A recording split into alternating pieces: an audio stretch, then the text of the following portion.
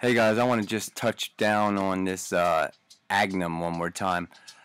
Um, I decided after further research here, this is something I don't want to um, promote or present to you guys. So if you even went to look at the Agnum site, I don't suggest you get involved because I just noticed I was doing a WHOIS check on them and they are out of Panama and you know what happened to all the other programs that scammed out in December and January? They were all out of Panama too so I don't trust this at all. So I do not suggest you get involved with this Agnum. I am not going to do any more videos. As a matter of fact I'm taking my videos down on it.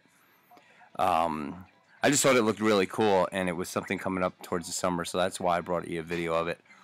But you know what it's not even worth the risk. Um, not not with this here. This is a no-no for me. Anything out of Panama, almost all the scams I've ever seen were out of Panama, and uh, I'd rather not even entertain this one. So, guys, stick to your uh, proof of weak hands. That one is out there kicking ass, and uh, Ethereum is going up. And if if you want to get in a program right now, Proof of Weak Hands is where I suggest you go today. Anyway, you know I still have the ones that I like. Um, my other ones that I've done videos of recently, I like them too. Uh, but this one here, no, I don't. I don't want to be involved with this. So if you went to my, if you clicked the link and went to it, just ignore it. Um, unless you like the program, I wouldn't risk it if I were you because this right here is the major red flag for me. So I would not suggest even entertaining Agnum. Thank God the ICO had a minimum 5,000. That meant a bunch of ETH you had to put up, and most people would not even think of getting in it yet. So thank God I caught it in time, and I want to yank this down, but I just wanted to explain myself to you. Um, there was one I wanted to show you guys in the next day or two, which is pretty cool. You make your own coin, but I don't I don't know I don't even really feel comfortable showing anything yet. I'd rather wait till these programs prove themselves and then show them to you.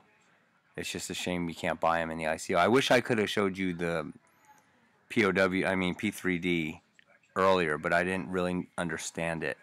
And I thought it was honestly I thought it was a game, like a video game thing, and I don't play video games, so I never even entertained it. But I wish I could have showed you that when it was cheap.